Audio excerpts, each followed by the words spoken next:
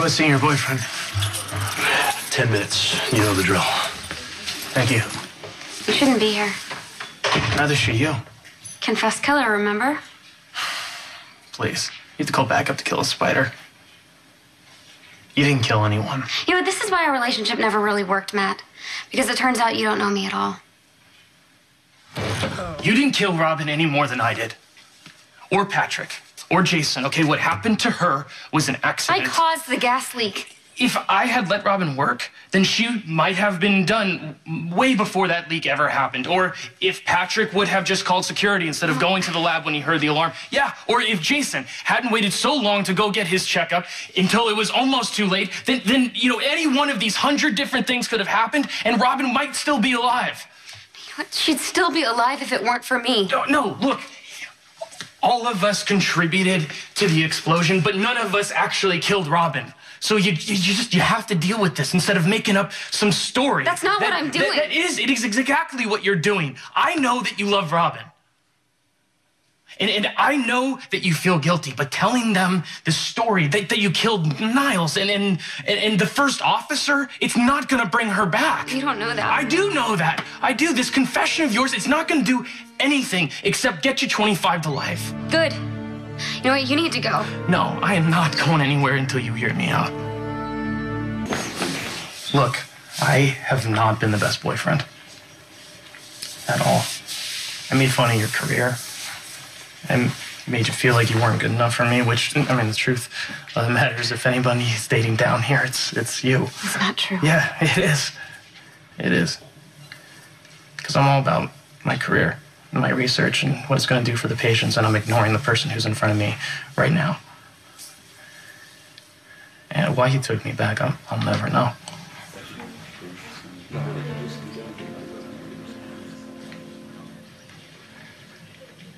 Made you choose between Spinelli and me. And I knew that he was ancient history. I knew it was never going to be any more than just friends, but I made you do that just to prove that I could. I I took advantage of Spinelli. And I wasn't a good friend to him any more than I was a good girlfriend to you. So, look, all this effort you're making to save me is just a waste of time, okay? You're both better off without me. Well, I can't speak for Spinelli. but- Fine. Okay, forget Spinelli, Matt. Let's talk about you. Okay, you're a brilliant doctor and you save people's lives. I mean, you should be at the hospital right now. You should be helping people. Your patients need you, and they deserve you, and I don't. You're wrong. You're wrong because without you, my life. I, I don't. I don't want stop. that I life. want I you. love you.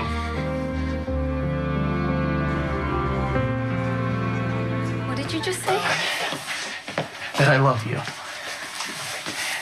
I am in love with you, and I and I have been for a while. No, you know what? I know why you're here. This is a trick. No, it's not. It's not a trick. It, it's the truth. Really? Then why are you waiting until now to tell me? Because I didn't realize what I had until I was about to lose you. Because I, I am my own worst enemy. And we tend to do that. We don't let ourselves be happy. I don't deserve to be happy. No, yes, you do. You do. We both do. Robin would want that for both of us. It's too late. No, it's not. It's not. Just tell them that you've been flying and we can get back to our lives. Just just say the word. I'm, I'm so sorry. Shut up, Spinelli. Hey, tell me what you were about to say. Tell Are you okay? He's fine. He's fine. Just forget about that. Stay with me right now, okay? Just what you were about to say something. I'm gonna, I'm gonna go. No, Go. it's okay. You weren't interrupting Excuse me. important. Excuse me. Look, I'm guilty, okay? I confess, and nothing you say or do is gonna I change love that. you. And maybe by telling you that, that's being selfish. But is that really such a bad thing to want you in my life instead of in some cell for, for a crime that you didn't commit? Look, I appreciate how much both of you care. But you're not helping me, okay? You're just making this harder. Good. It should be hard to throw your life away. It should be God, impossible. I can't do this anymore. You both have to go. Wait, and what? You and have what? to and just, on. and just leave you here? No, we can't We're do not that, just Max. Guard! No, don't call the guard. Guard! Why can't I get through to you? Guard! Maxie, why won't you listen to me? Goodbye. Maxie!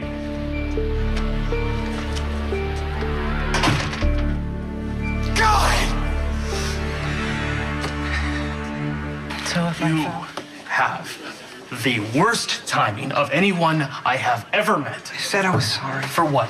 For what? Barging in on us or eavesdropping on a private conversation? I wasn't eavesdropping. I was just, I was waiting. I was, I was waiting for the right time. I, I, I truly didn't. Well, you failed, Spinelli. You failed because she was about to say something when you fell at her feet like like a like a sack of dead fish.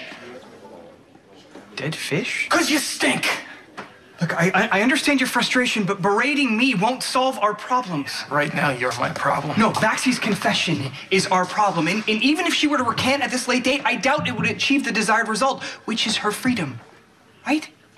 That's what we both want, correct? Yes, we both want Maxie to go free. Okay, then let's put our heads together. Right now, all I want to do is put my hands around your throat. Help me find who killed Lisa Niles.